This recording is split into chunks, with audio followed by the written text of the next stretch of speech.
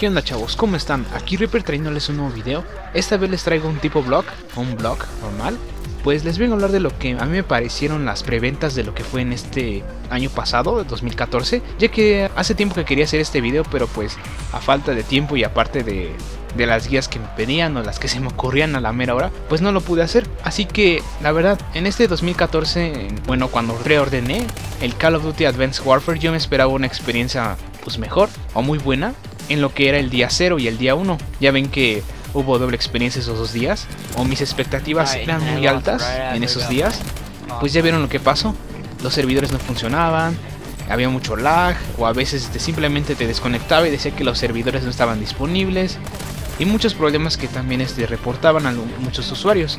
Y pues es una de las cosas que me llevó a tomar esta decisión al menos en este 2015 no creo preordenar ningún juego, aparte también de los juegos que he visto, de sus reviews y ese tipo de cosas, como lo fue Assassin's Creed Unity, que pues imaginarán que tuvo mucha controversia porque en varios foros o páginas gamers que vi, decían que este Assassin's Creed tenía muchos pero muchos bugs y además que los parches estaban muy pesados y no estaban de, todo disponible para los jugadores que no contaban con un ancho de banda exigente o que simplemente no contaban con internet.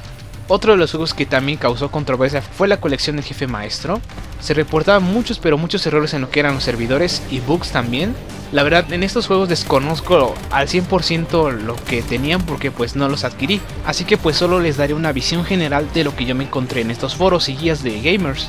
También en lo que fue un... Dicen, la verdad no, no lo he jugado, fue el juego de The Crew de Ubisoft. Dicen que fue malísimo, que no daban muchas horas de juego o simplemente era aburrido.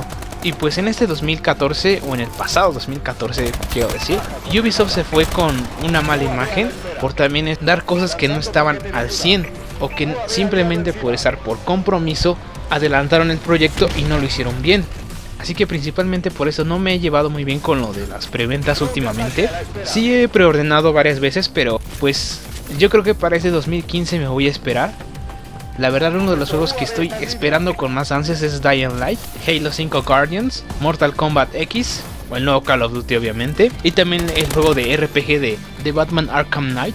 Pero esta vez los voy a adquirir una o dos semanas después de sus lanzamientos porque la verdad no me quiero llevar otra decepción de lo que fueron los juegos que ya había mencionado. Así que me gustaría oír su opinión de lo que para ustedes fue este 2014 en cuanto a las preventas, si los juegos que ustedes preordenaron les gustaron o fueron lo que ustedes esperaban, y también si ustedes van a preordenar o no en este 2015.